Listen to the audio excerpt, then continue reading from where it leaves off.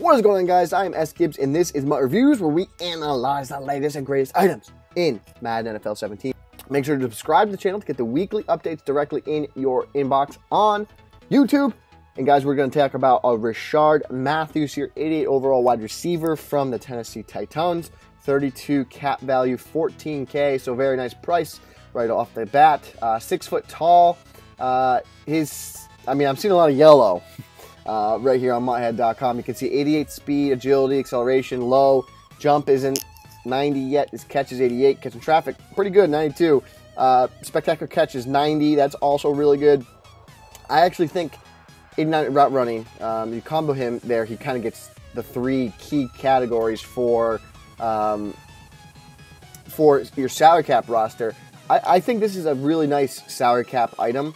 I think that you know, you, you know, can you get into a, a, Jerry Rice? Can you get into a Chad Johnson? Uh, right around the same price as this Rishard Matthews, but then you get the playmaker. Sure, uh, I think for for for me, I don't know where this guy, you know, in terms of upper echelon teams is going to fit. I think he's actually a really solid player, though. Uh, I think when you look at these three course ratings, the route running, catching traffic, 90, and spectacular catch, those are those are the key ratings you want to see close to 90, if not higher. And he's a check in all of them. Uh, and also, I think a little bonus is 70 strength and 62 run block. Not bad for a wide receiver. I, I'm I really like this guy.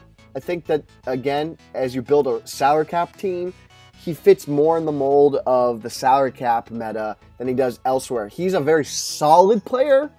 Reminds me a lot of the Zach Ertz we broke down. Not a guy that's going to wow you, but a guy that's going to be very reliable for your roster. A really nice slot receiver uh, going over the middle of the field, making plays, maybe matched up against slower corners and or linebackers. Uh, if he plays in the slot as a number three, maybe even number four receiver, he'll actually play better for you. Uh, guys, this has been the next episode of the MUT Reviews. I appreciate you guys watching. Make sure to subscribe to the channel, and we'll see you guys in the next review.